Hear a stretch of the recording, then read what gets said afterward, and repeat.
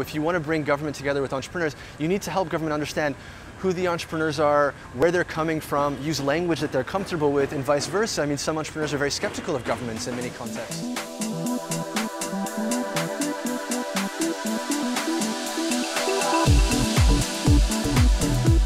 You were a part of the uh, panel yesterday, which was around impacting the lives of or the tech startup culture in uh, Asia and Africa. So if you could give us some insight, being from Africa and being uh, doing startup related activities in Africa, could you give us an insight of how challenging it has been, the whole journey till now? Well, so as I discussed on the panel yesterday, you know, our emphasis, because I, I, run an organization called Impact Hub Kigali, and so our, our emphasis is really on impact. And we're thinking about the broader systemic issues that sort of mediate our lives and, you know, how can we how can we use entrepreneurial techniques, not necessarily to create profit-seeking or profit-maximizing companies, but how do we use these techniques to solve the really pressing social challenges that affect all of us as humans? You know, climate change, for example, is an existential threat. So how can we use, you know, entrepreneurial techniques to, to solve some of these challenges? And as I discussed yesterday on the panel, we've started an organization called the Innovation for Policy Foundation and we are we're working exclusively on how to build an all of society approach. So, you know, how to create this broad social consensus, massive common interests to be able to uh, come together and, and solve them as a, as a species. Amazing. So you have also seen uh, the Silicon Valley and the startup culture in USA, as we just briefly discussed. So could you tell that what are the key differences with regards to how the things go in US and how the things go in Africa? you can give us a little insight into that? I mean, I think it's clear like the, the most obvious difference is that people in Silicon Valley are very much, I feel like, often divorced from the reality in which the majority of the people who they build systems for, they're very divorced from their reality. Whereas when you're, when you're with the entrepreneurial community in Rwanda, people are, they're, they're building solutions for themselves.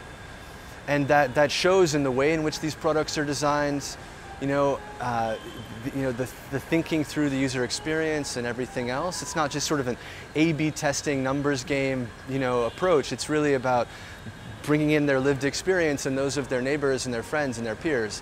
Um, you know, and I, I, think as a result, you know, this idea of social enterprise, which exists like as sort of I see as a very Western concept, you know, of how do you bring impact into business is something that is really automatic for the majority of young entrepreneurs that we work with in Rwanda or that I, that I see and that I'm friends with across Africa.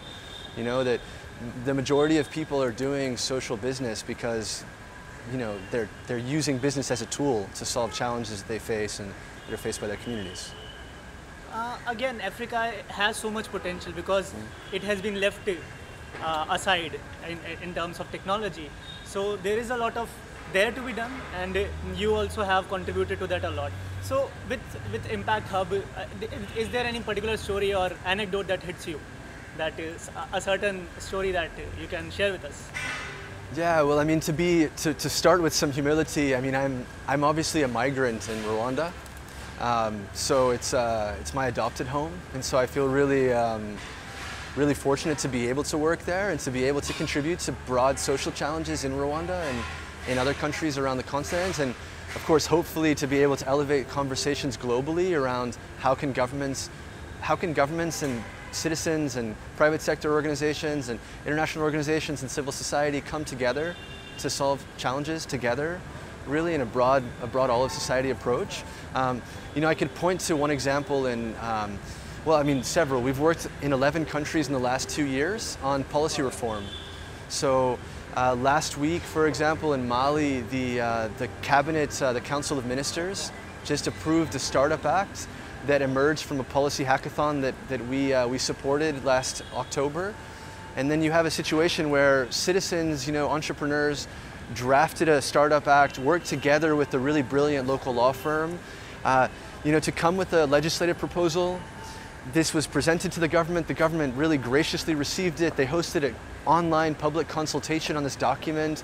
They supported, you know, uh, virtual, like, uh, sorry, offline meetups, focus groups in seven of the country's regions. And then the, the, former minister actually hosted a town hall meeting where he invited, you know, students, entrepreneurs, investors, anyone to come and, you know, give their comments publicly on this draft law proposal. Um, and then now it's now it's been approved by the Council of Ministers to go to Parliament, and that's uh, I think really a testament to, you know, the ability of societies to sort of reimagine what democracy is. It's not just about showing up to vote. It's about how do you create opportunities to leverage, you know, the knowledge of you know diverse citizenry. You know, like entrepreneurs are the experts in entrepreneurship. So let's talk to them about how, you know, they can be enabled through regulation to solve social challenges. And I think that's really, I mean, a beautiful example and a testament really to the ecosystem in Mali, um, you know, as much as to the work of myself and our team.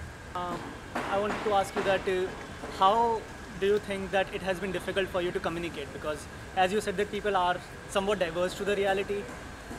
And uh, at the end of the day, the goal is to bring everyone on board. Yeah. That is, at the end of the day, being impacted by uh, all these developments, this technological, policy governance related developments. So how difficult has it been for you to communicate to people? I mean, I would say that actually communication is our number one job.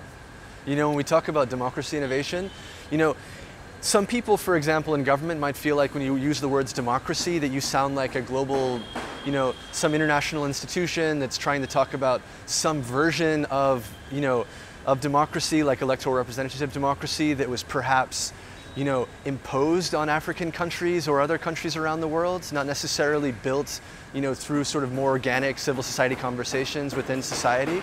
And so, you know, that's a good example. Like for, you know, working with some stakeholders, it's, you know, we, we, we don't use the word democracy because, you know, it might have negative connotations. Whereas if we talk about more effective public policy or more effective public service delivery, you know, or, you know, rather even talking about the specific end that everyone shares, for example, like around entrepreneurship policy, you know, talk about more effective job creation. You know, we don't have to, you know, we, we, we need to be aware of where everyone's coming from in this conversation, you know, and, you know, I would say that all social stakeholders are ignorant of each other in some regards. So, yes. you know, the governments are. That's how it's difficult to bring them on board because there is some sort of inconsistency. Well, that's and that's why I say again that our, our primary work is around communication and framing because you know if you want to bring government together with entrepreneurs, you need to help government understand who the entrepreneurs are, where they're coming from, use language that they're comfortable with, and vice versa. I mean, some entrepreneurs are very skeptical of governments in many contexts.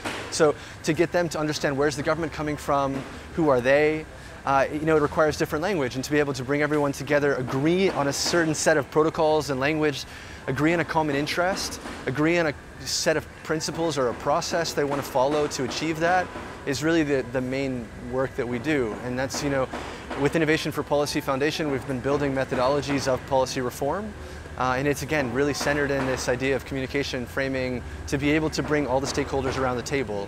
We really want to we want to reimagine what advocacy and activism is. It's not about standing in opposition to governments or standing in opposition to a private sector company. It's recognizing that in the end, we as a species all need to share a common objective of, for example, resolving the imminent ecological crisis that we face. It's in everybody's interest to do so. It's in all of our children's interest to do so. So let's come together as humans you know, solve that, recognizing the, the different strengths and you know, um, you know, positions that we all have to be able to affect change, the diversity of perspectives that we have to, to really understand the problem better. Um, yeah, and, and, really leverage, you know, the, the expertise of everyone in society because expertise does exist everywhere, in everyone. In some form. In some form, absolutely. And yeah. my last question is about the land we are currently in, India.